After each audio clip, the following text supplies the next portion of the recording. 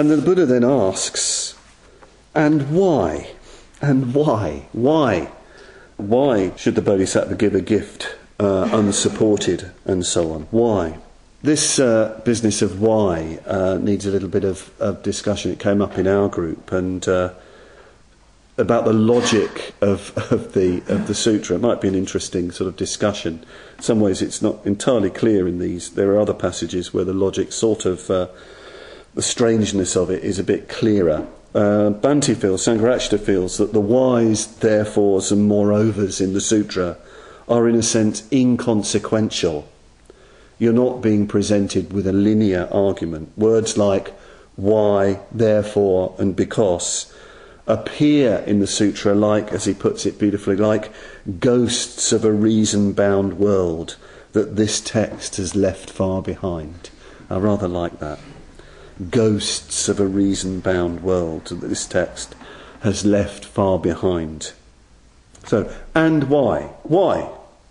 Because the Buddha says the heap of merit that comes through unsupported giving is immeasurable. That's what the Buddha says. The heap of merit that comes through unsupported giving is immeasurable. So he then evokes the immeasurable space. He asks Subhuti, Do you think space in all of the directions, north, south, east, west, up, down, is immeasurable? And he says, Well, yes, it is.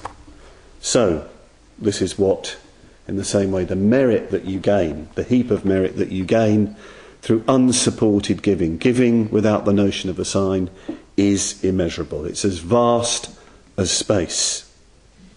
If you give without limitation, without d- definition, if your giving is unbounded, the positive effect, the merit, is unbounded, without limits and without definition.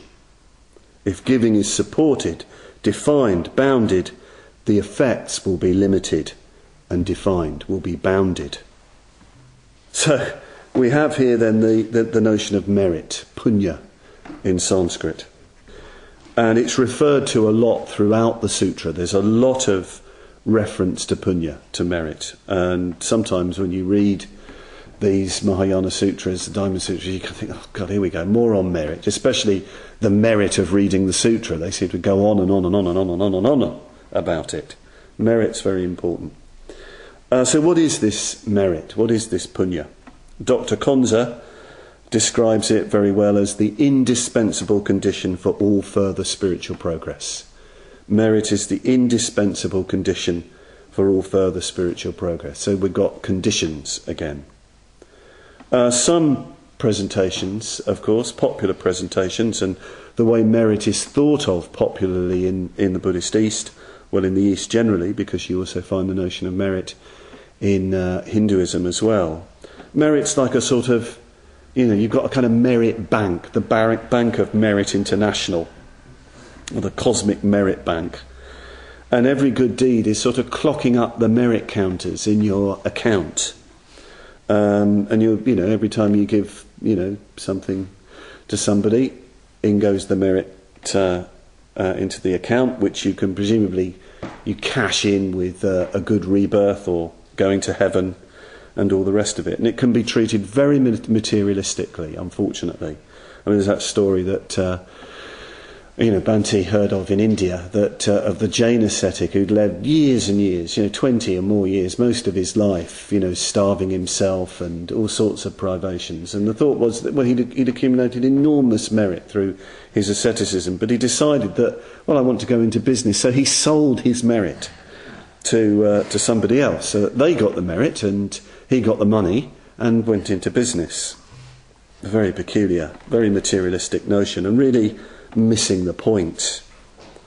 I think merit, punya, one way you could look at it is that what it is is positive momentum.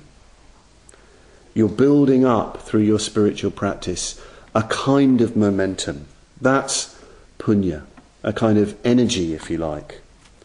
Through generosity and the other perfections, you're developing, there is developing a positive, creative, resourceful volition, resourceful momentum building up in you. So that whatever happens in life, you can, you've got resources. If you like, you've got the character to meet those situations.